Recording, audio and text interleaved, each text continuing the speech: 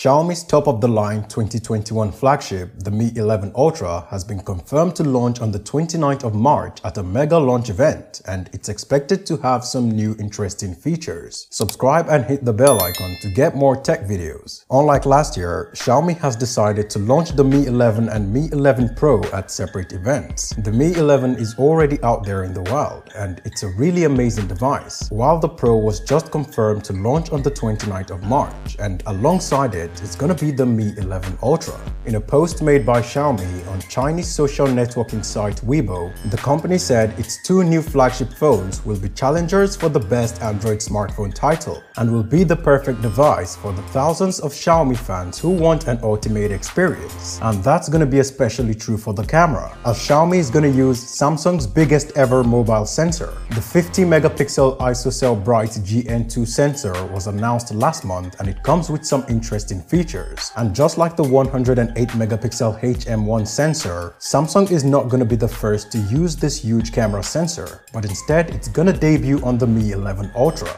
The ISOCELL Bright GN2 is the largest smartphone camera sensor with a 1 in 1.12 inch sensor size and a 1.4 micron pixel size. It's gonna feature a 4 in 1 binning technology and can record 4K videos at 120 frames per second and 1080p at 480 frames per second.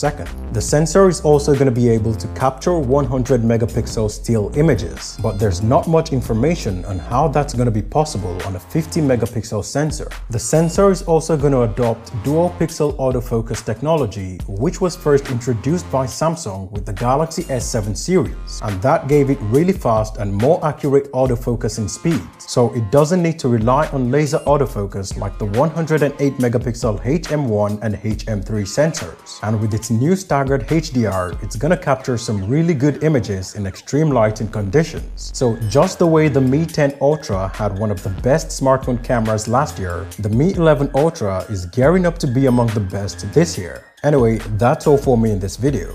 Thanks for watching guys, see you in the next one.